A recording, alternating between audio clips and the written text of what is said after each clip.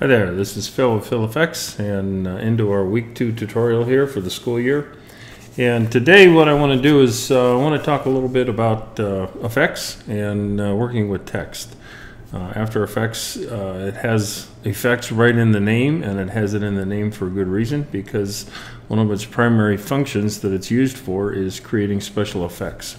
So I'm going to walk you through. This is basically just an intro. Uh, to really delve into effects, we literally could spend an entire semester just on working on effects. But uh, I want to give an intro on some of the pre uh, pre built-in effects that uh, uh, After Effects has and how you can work with that.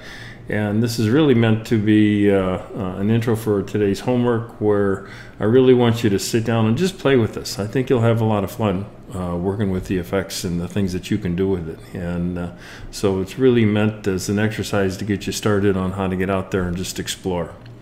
So I got a uh, uh, comp here and I have our uh, uh, template that we use in class loaded in here to get started.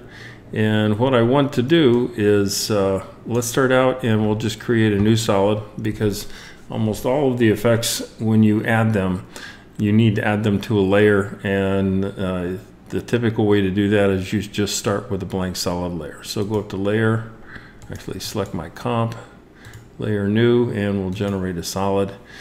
And uh, I'm just going to call this uh, demo one and it's my comp size. That's the thing that you really need to be sure of. Make sure that it's the size of the comp. So I can click here and say make comp size. And the background color you don't care about, uh, but I'm just going to say okay. So we've got a solid in there. And what you want to do is you want to go over here if you haven't clicked on it. If you're set here in the standard setup, go over here and click on effects because you want that. And Right here is our all of our effects, and the one I want to be working with right now today is really just the animation presets. It's very top one. So let's quick click the twirly down here, and let's go down to synthetics, and uh, let's look at this one called cells. And I can add cells. There's two ways to do it because I have the layer selected. I can just double click on this, and it adds it or can, let me do a command Z and undo that. I can take this and just drop it right on top and I get the same thing. So what you're seeing here is if we scroll this along, we've got an animation and it uh, kind of looks like you're looking through a microscope. Uh, maybe you're seeing bacteria or something through uh, uh inside of a microscope. And so you see this animation that's going on.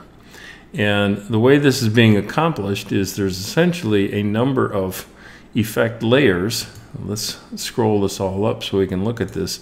And uh, the effect layer is we have an effect called cell pattern, one called median, one called levels, one called tritone, and one called ripple. And they are added, they're added in a specific order. So the order is important. And the uh, these effects themselves uh, we, we loaded this thing called cells, but actually is loading these other effects. And if I go over here and let me click in here and type cell pattern, you can see there is a, an effect called cell pattern under the generate. And that is generating a cell pattern. So we're using that. If I go here and I type median, Okay, median is a noise and grain generator. And so you can see that this effective cell was built up by using these other effects stacked on top of each other. Uh, I said the order of stacking here is important. The way that this happens is this executes is it first creates a cell pattern, then it executes this median function, then it executes the level, that executes the tritone, and it executes the ripple. So it executes from the top to the bottom. If I took the cell pattern, for example, and put this down here, it changes what this looks like. All right. Yeah, let me undo that. If I take uh, tritone and I put that here, uh, that that really didn't change too much. If I take median and I put that here, that changed a little bit, but the order in which these are done are very important. If I just turn this off, you can see that we get nothing. So the basis for everything is this cell pattern. And I can go in and I can, one at a time, turn each one of these effects off by clicking on the FX, and you can see the effect that each one of these has on the overall construction of our effect. And if you open these up, you can go in and play with the uh, parameters here, and you can see that there are keyframes on some very specific parameters, like uh, disperse has a value that's been set. It's been set to 1. If I go in and change that value, you can see how that changes. In fact, if I go down here and set it to 0, we're not getting much dispersion at all. If I change it up to a value of 1, we get quite a bit of dispersion. So going in and uh, I would encourage you to go in and change these parameters and see what kind of effects that they have. Uh, so this was just one kind of uh, an effect. Let's go in and uh, uh, I'll just hide this layer so we don't see it and go in layer new, get a new solid and put that in here. Animation presets, uh, synthetics and let's look at another one. So there's this one called blue bars. So let's look at that and see what that does. You can see here I've generated some uh, uh, flashing kind of a blue bar that's in the background. This might be nice uh, maybe for a, a, uh, title sequence, for an intro scene. Maybe you want to put some text in there. Uh, I don't know, maybe you're doing a scene with a disco and you want to put this in the background, you know, whatever you got. Uh, but anyway, it's it's all done. It's a preset. You can go in there and you can modify these things, and you can change the parameters. And more importantly, you can use a lot of these presets to see how initially some effects were done, and then build upon these to really what I would like to see you do is create your own effects. Uh, so I mentioned uh, text. So let's go in here and uh, we I want to uh, generate some text. I'm going to take these two layers and just delete them because I don't need them. And uh, the way to generate text is we want to go in and uh, we could just get the text tool and I could just start typing and that creates an empty text layer.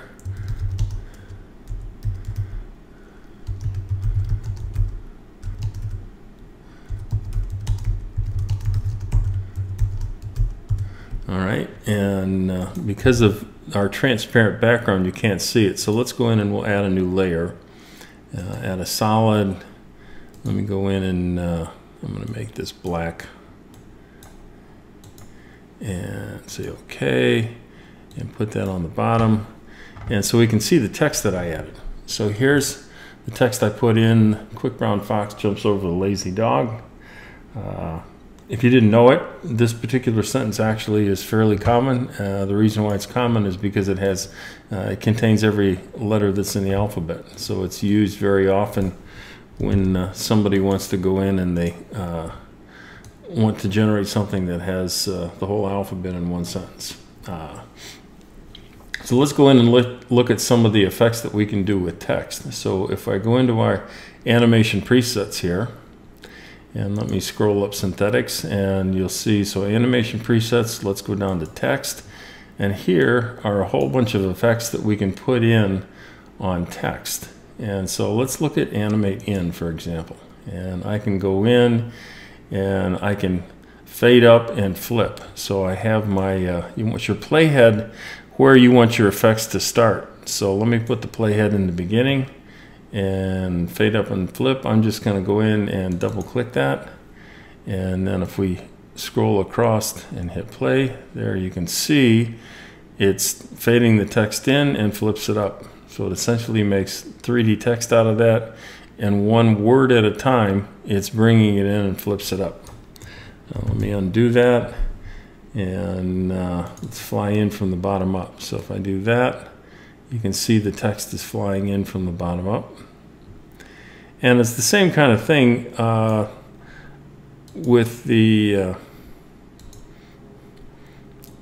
you have some parameters, okay? Uh, depends on which uh, effect that you're doing, the, degree of control and you have. Uh, let's see, we so we have uh, a start and an end, and we have an offset, and we can go in and we can base it on characters, uh, we can base it on words, we can do it on whole line. So you can go in and you can modify how this effect is going to behave and what it's going to do. So right now It's on characters. Let's see if we put that on words.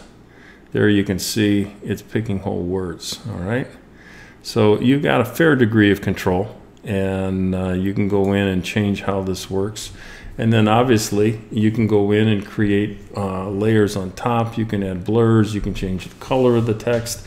So there's a lot of things that you can add on top of this in terms of uh, the different kind of effects that you can get with adding onto the text. Uh, one of the other effects that's really fun to play with is working with particles. So let's take a look at that real quick. So I'm just going to delete these. And let's get a new solid, put that in. And go over here and type particle. And I want to use uh, the main one that's built in that you have access to is called Particle World. And then there's another one called CC Particle Systems too. But let's look at Particle World. So I'm going to take that, drag it in, and put it on top. And this again is tough to see because it's transparent. So let's add another layer and give ourselves a background that's black so we can see things. Put the background here. This is my particle layer.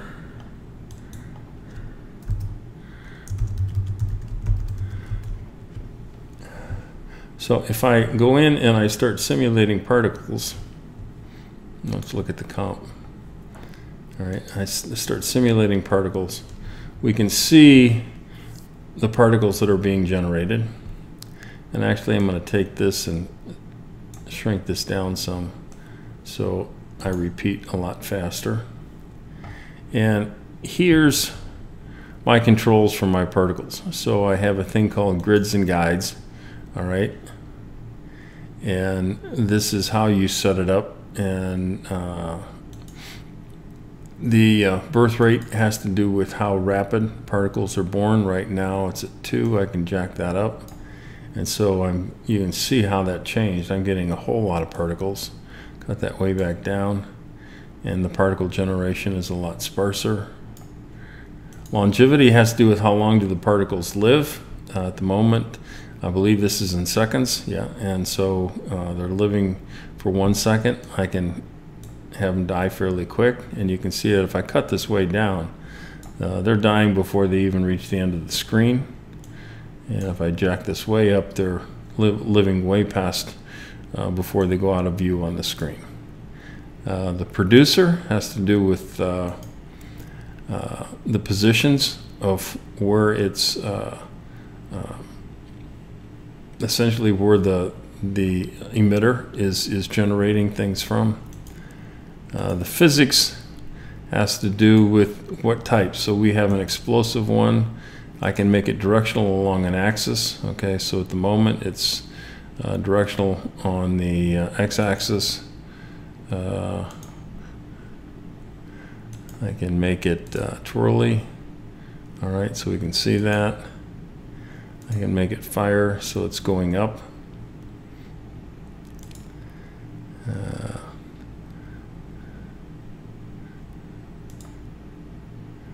so you can see it's kind of making like a cone there. So you have a lot of uh, control over how the particles are generated.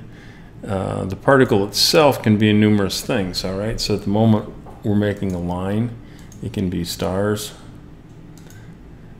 a shaded sphere. You can play games with the colors. So this is the colors at birth, the colors at death. All right. And uh, with particle world, you can even make textures. So if we wanted to, if we went in and we had a uh, textured quad polygon, I can go in and we don't have textures at the moment because we don't have a layer for it. But if I went in my project and I've got this smoke so I put the smoke layer in there. And this is just a picture okay of some smoke. So let's go back and look at my comp and uh, go back to my particles my effects and controls and say my texture layer is my smoke. And now if I start playing this you can see that the uh, my picture is essentially these are called sprites. My picture has been overlaid on top of the particles, and depending upon what kind of picture you use, there's some interesting effects you can get with that. Uh, so anyway, this is uh, a way that you can you can actually generate fire this way. You can generate smoke this way. Uh, so this is one way you can uh, put essentially explosions into your uh, uh, projects if that's uh, something that you want or you want to see a ray gun or you want to see anyway there's lots of things that you can do with particles I wanted to end with at least just demoing a couple of the things that are in some very advanced particle generators. Well, you won't have this in class, but I at least wanted to show show them to you. Uh, so let me uh, get rid of these. And I've got a plugin for After Effects called uh, uh, Trapcode Particular. And Particular is an extremely advanced uh, particle generator. And it's pretty amazing what you can do with it. And so if we go down here to RG Trapcode, uh, there's a number of uh, uh, paid for plugins. Uh, particular in general is one, Form is another one, and uh, Mir are also some pretty amazing plugins with what they can do. But today I just want to show Particular. So let's put Particular on here. And uh, same kind of thing disappears. So let's get a new layer so we can see the background. Put that in there. And Particular has a designer. So I can go in here and I can design my what I want to do with how I want particles to behave. And uh, let me uh, shrink this down a little bit so this views better on the capture here. So there's a number of presets. I can go in here and I can look at all kinds of different presets that they have built in. So there's some uh, uh, there's a viewer here that shows what it looks like. I can get some interesting background effects. Uh, that's pretty cool. Uh, we can get uh, explosions. I can get debris explosions. I can get smoke going out so you can see I can get a fire burst. All right, so that's that's pretty impressive. And uh, this is all built into the particle system that is in particular. Uh, let's go in, uh, let's go back up here and look at this uh, pastel dots. And on this, once I've picked that, then I can go in and I have a number of controls here on color and opacity and how things are changed and how it emits and uh, all of that kind of stuff. Let's just say I like that and we'll say apply. And now if I go in and uh, I hit play, this takes a little bit, takes some horsepower here for this to run. So it has to go into the RAM cache and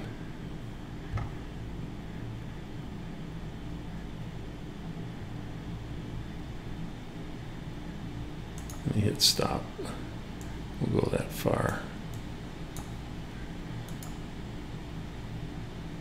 Okay, so you get an idea of what that's doing and how that's generating, and it's all done with the uh, Trapcode particular. And like I said, you saw some of the other things I was able to generate with that. You can make explosions and smoke and bombs and all kinds of cool things. Uh, that is a fairly expensive plugin, but if you graduate from here and you start working in a studio or doing freelance, uh, the uh, Trapcode plugins uh, from Red Giant Software are pretty amazing, and it's pretty cool the stuff you can do with that. Uh, there's another plugin that I use. Uh, it's called Element 3D. It's uh, developed by a company called Video uh, Copilot, which is uh, uh, Andrew Kramer. you probably have seen much of Andrew's work. Andrew did a lot of the texting and titling that was done on the new Star Trek movies. And I think if you've seen anything on Sci-Fi Channel, you'll recognize a lot of his work in a number of the movies and, and title, title work that was done on many of those. Uh, so let's go ahead and take a look at uh, Element 3D. So delete those, get a new layer, call this background. And new solid, let's call this 3D. And so if I go down here to Video Copilot, there's Element. So let me put Element 3D on there. And like uh, Trapcode Particular, Element uh, 3D has uh, its own scene setup. So let me click on that and it opens up a window. Let me shrink this down so we can view this better. All right. And so what I can do with Element 3D, they have some built-in 3D models, but the thing, one the things I really like doing is I can import my own models. So uh, I've got a model right now of just something I use in 3D. And this is uh, an object I just call a knot, which is a three-dimensional knot. And uh, I've exported this in what's called an OBJ format. And I've stuck it on my desktop, so I'm going to import that. And so I click on import and there's my knot OBJ. I import the 3D object, just take the uh, presets the way they are. Okay, now it's a little bit small, so I need to increase the scale. And we can go in and look at this. And you can see uh, it's brought that object in. And it truly is a 3D object. And one of the other things that's very cool with Element is I can go in and I can put materials on this. So I can go into presets and I can look at materials. Uh, let's see what we got here in metal. And uh, let me put a, a brush metal on that. So I put a brush metal material on it. And then I can light my environment with uh, uh HDR lighting. So let me go in here and pick some uh, HDR lighting. Uh, I'll just pick that. And you can see now I've lit the object with an environment. You can see the environment being reflected on that brush chrome surface. And it truly is a 3D object. So if I say OK and bring it in, there it is. We have that. Now to view this in 3D, I need to add a camera. So I'm going to go in Layer New and I'll add myself a camera. And let me go in and change my view. And I want to take the camera and I want to bring that so I can zoom this in so I can uh,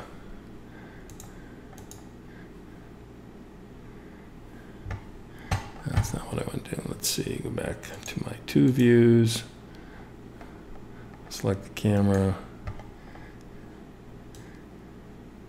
drag that in, and there.